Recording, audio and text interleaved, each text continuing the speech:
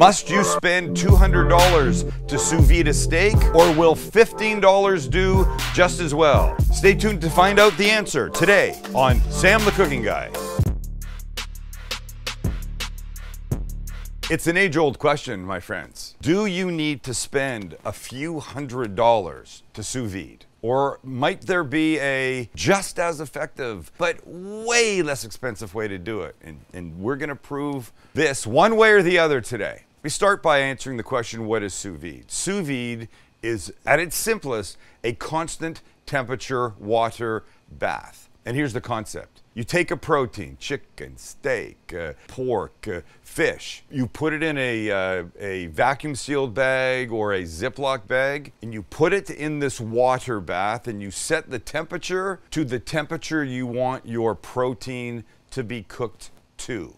For example, if you like your steaks medium rare, we'll call that somewhere around 130. You set the temperature of the sous vide to 130 degrees. The steak's in the bag and it goes in. And here's why I think people like it. When that water in the bath gets the steak in the bag to 130 degrees, it can't go over. It won't go over. It's impossible to go over and overcook it because the water's 130. It can't go to 135 or 140. Then what you've got is is a protein cooked perfectly, but you got to just make it look beautiful on the outside and there's many ways to do that. So we're going to do this two different ways. The first is by using an actual piece of equipment and the second is a shall we call it a hack. Let's call it a hack. Let's get this set up and then I'll show you the hack way. Then we'll get the steaks going and then everybody's going to be happy. Couple of nice little ribeyes, right? Right. Decent size. A thin steak, you don't need sous vide for. You can just uh, hold a match to it and it will be fine. All right, so because these are going in water, we want to protect them. We don't want these wet. We want the benefit of the heat. So, it's two things you can do. The first is your basic everyday Ziploc bag. We'll take our steak, our first one, and we'll just put the kid right in here like this. And we'll deal this with the hack method. The non-hack method, trying to make it as expensive as we can, will include a vacuum sealed steak. So we take one of these vacuum sealed bags that you buy just like that, we take our steak, we put it in, like voila, and then we get to the vacuum seal part. Vacuum sealing unit, we turn it on, and in we go like this. And you put it, feed into the wide mouth till it engages. There we go. Takes the air out, and when it gets to the point where it thinks there's no more air left, it turns red, it starts to seal. Very nice. Now you just wait till it spits it out. Well, turns off, basically. Wait for it. Seal. Beautiful, right? No air. Next, the water. Alrighty, first up, the actual sous vide piece of equipment itself. You got your big bin here with your water in it. This kid comes, we'll just set them in here. I sometimes put the corner underneath nice and stable. Now we'll turn it on. This particular one, as I think they all do these days, has an app. So we're just gonna set the temperature on this to 100 and, what do we wanna do? 130 degrees and hit start. There you go. Constant temperature water bath. It circulates the water, so it's not just hot here, it's hot all the way around. And now you can see this one tells you that the water is 101 degrees. We're trying to get up to 130. It's working its way up. It'll get there. It will notify us. Then we can put our stuff in. Look, you can put your stuff in now. It doesn't make any difference. We'll do that at the same time as the other one. Now we prepare the hack version. And the hack uses two things.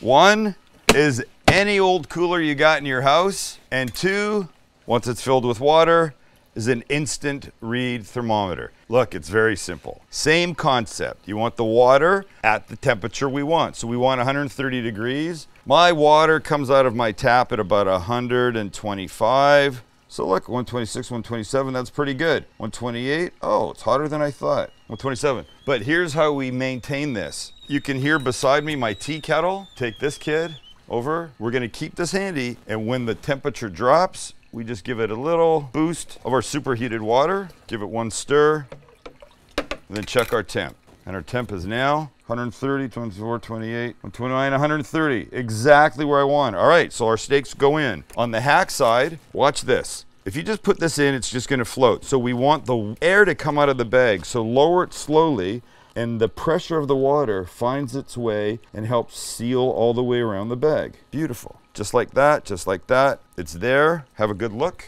We'll shut our lid. This guy you just slip in. If it floats up a bit, you can always take like a spoon, drop it on top to keep it down. You could put a plate on it. It's all good. Now remember, when it gets to the temperature, in our case 130 degrees, it can't go over. If it takes an hour to get there, but you don't take it out of the water bath for an hour and a half or two hours, does anything go wrong, Chance? No. Nothing goes wrong. Can you leave it too long in the water bath? Max? I don't know. I mean, I want to say no because it keeps the temperature, but if you leave it for ever, yes, you can. If you leave it too long, the protein starts to get a little, it starts to break down a little too much, gets a little mushy. It won't be the texture that you're used to. It's that simple. Look, you go online, you find all kinds of charts that tell you how long things take to uh, get to temperature depending on thickness and uh, the temperature of the item itself. I can take a steak that I've had in a vacuum seal bag in my freezer, put it straight into the water. No thawing necessary at all, which is really damn uh, handy. Friend of mine, we'll call him Sean. What's actually his name? He goes to Costco. He buys a whole bunch of, you'll like this, Max, chicken breasts. It's a big shit ton of them. He puts them in individual bags, vacuum seals them, brings them to temperature in a sous vide, takes them out, puts them right into an ice bath, stops the cooking, dries them off, puts them in the freezer. Now, when he goes to work in the morning, he throws one in the fridge, it defrosts, and all he has to do is finish the outside on the grill and on the, the flat top and the, you know, a hot cast iron pan, that kind of stuff. So the only downside now to the, the cooler version is that you have to maintain the temperature manually as opposed to this guy getting there and staying there. And I didn't want to just uh, have steak for the sake of steak, so in a little bit we'll make some mushrooms too. All right, it's been a few minutes. Let's grab our instant read and have a look. And we're at, oh, look, it's holding temp really nicely. But I'll give it a little splash. I do want to try and maintain that 130. Not the worst thing in the world if it drops a bit. And we're 127, 128. Come on, buddy. Come on, buddy. 129. One more splash and we'll call it good for now. Maybe we should make some mushrooms. And these mushrooms that are some of my favorite to make begin with two things. One's gonna be a knob of butter. Come on, buddy, melt, melt, melt. And a little splash of uh, olive oil. Boom, like that. Once this has started to melt nicely, Eh, screw it. We're going for it. We're going to put our mushrooms in, and I like to start the mushrooms face down. Is that face down or is that face up? Face up. I don't know what you would call that. On their stomachs. That's it. I think we've had this conversation before. We definitely have. This is mushrooms on their stomachs. I think there's six ingredients in this mushrooms, garlic, oil, butter, salt, pepper. Count that as one. A little splash of soy. Did I say garlic? Garlic. So now wait till these start to do their thing. We want these starting to get a little bit of color. Okay, so now we're starting to get a little color on there. Now it's time to flip the kids. And by the way, I miscounted. There's one more thing I want to add. Oh, you'll see it. We'll get there. But what I like about mushrooms like this is that you can get them done and then just kind of turn them off and come back and give them a little quick reheat and serve them. Not everything has to be done at the last minute. And honestly, that's a lesson I've had to learn over the years. I was a last minute guy. Everything had to come out of the oven, just as people were like sitting down at the table. And that's just ridiculous. All right, continue, continue, continue. Nothing to see here for another couple minutes. So one of my favorite parts of this uh, mushroom cooking process. Look at the caps. They're all filling up with mushroom pee. Give them a little flip so it comes out. And when it does, the heat of the pan will start to dry up the moisture in it because we don't want them sitting in that too long. Hey, hey, hey, hey. See those two little guys are like hanging out together. Okay, so wait for most of this mushroom liquid to evaporate. Oh, they smell so good. And really, nothing has happened yet. All the good part is about to happen. But they're getting, see? They're getting a little soft now, which is great. And when most of the liquid's evaporated, we give it a little shot of vermouth and let it now start to, I was gonna say disintegrate. I think I mean evaporate. Let it evaporate, little toss, and then just a couple things and we're there. Next up, a little hit of garlic. You know me. I like a little oil when my garlic goes in. Okay, decent hit of garlic. That was a good clove, man. Let this start to get fragrant. And when you start to smell it, mm, we can mix it in. Little pinch of salt and pepper tiny bit of soy, and I'm using soy paste here because I love it and I have it. And now these we're just gonna leave. Take them off the heat, they're ready. We've got two things to add just before we serve them, but we'll take them off the heat, and when the steaks are ready, we'll bring these back to life.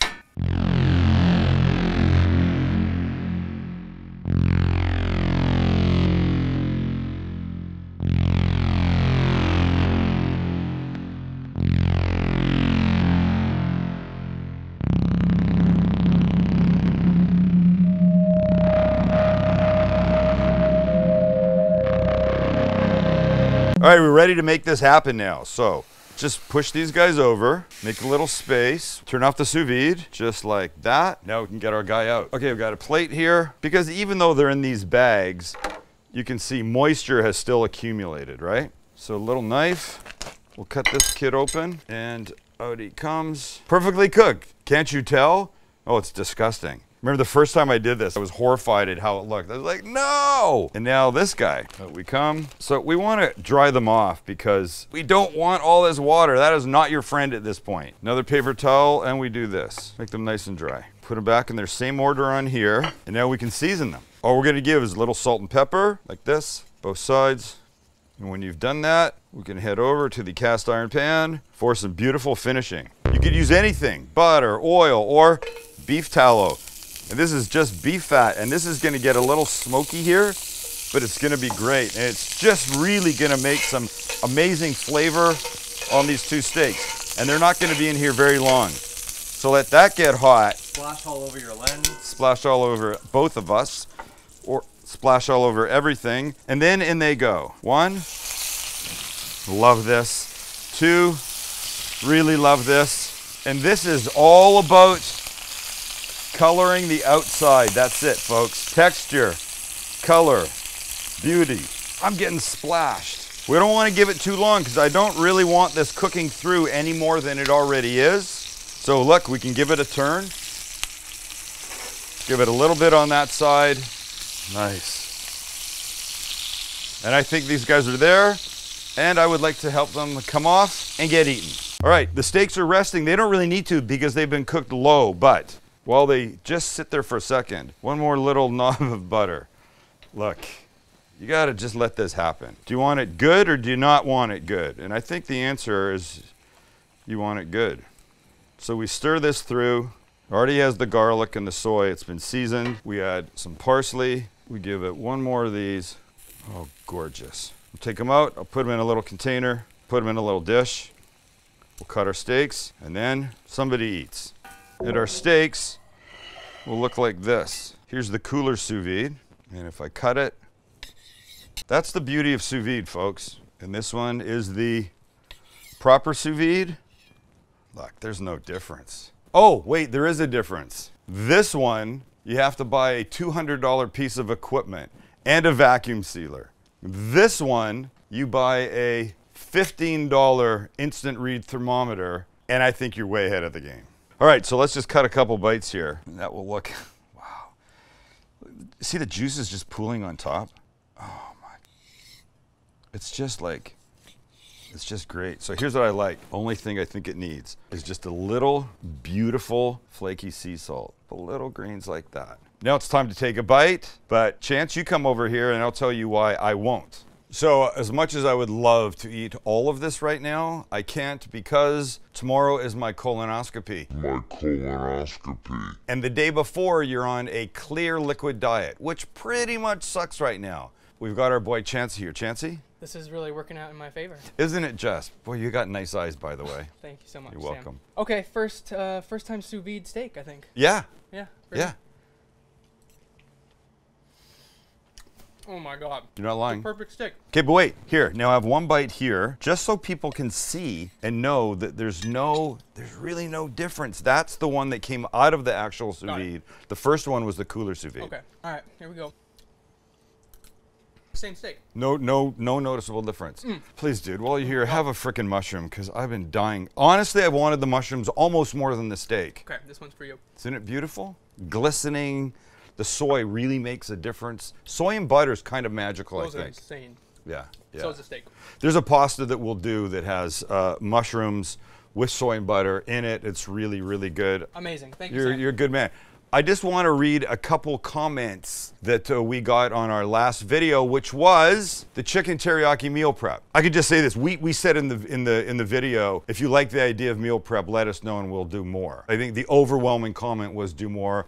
We love the idea of meal prep, so yes, we will. But there's also a conversation about me shaving. Uh, I shave in the shower. John Ingersoll wrote, "Back when I shaved, I always shaved by feel in the shower. So much easier and no mess in the sink. How are they surprised by that? It was so easy. But now I just rock the beard, so It's actually easier. Brandon Goodson writes The fact that Max can't shave his own face without using a mirror just means that when he shaves, we refer to it as that time of the month. I like these comments. And then we had a, I used an old school phrase in like Flynn. The Glenn uh, Channel wrote, it's a reference to the old actor Errol Flynn, starred in a bunch of movies as an action hero back in the 30s and 40s. Rudy Bone Own wrote, wouldn't use the phrase in like Flynn.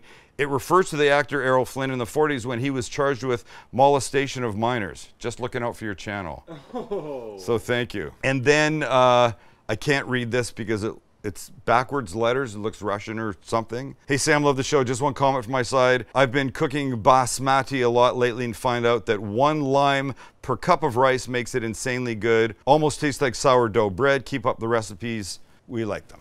So I love it when you guys give suggestions. I love it when you just comment. I love the tip about the basmati rice. Max is going to learn how to shave in the shower. Chancy's going to eat more steak, and all I got. We thank you guys for being here. We appreciate it that you spend your time with us. And we hope you learned something today. Cooler sous vide. Get on it, Sparky.